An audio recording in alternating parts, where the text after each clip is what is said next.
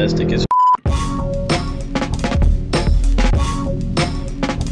how's it going guys? We are going to do a track day today and we're already dirty and we haven't left. My car's on the trailer and I usually don't take my car on a trailer because I'm a real man. And the problem is we blew a fuse, the ignition fuse, and the intercooler pump down here, don't worry about these stray wires, but the intercooler pump, it is broken the connector so it was arching causing the ignition the ignition fuse to go out. But now we're ready we're going to cmp um, the car is running hopefully we can make it there it's about a three and a half hour drive. And we're going to pull my car off the trailer brian's car on and go get some racing action. So stick along and we will have some track day fun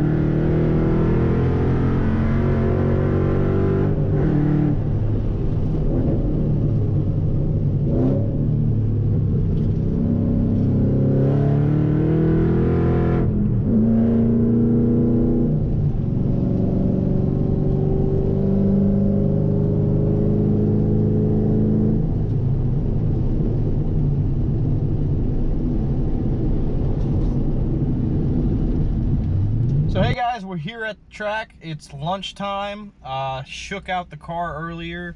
Uh, we have some clouds rolling in, so maybe we'll get some uh, some rain, but we'll see what that looks like. Um, so today with the car, I'll put up some video, um, but essentially we have a, a pretty bad heating problem.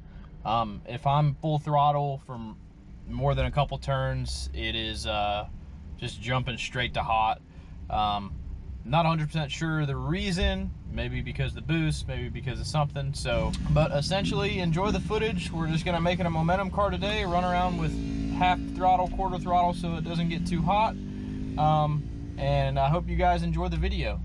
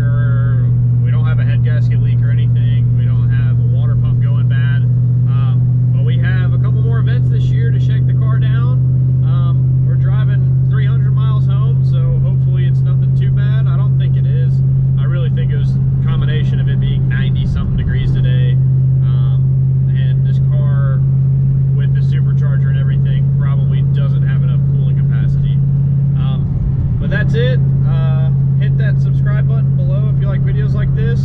Uh, they come out uh, sub-frequently, and uh,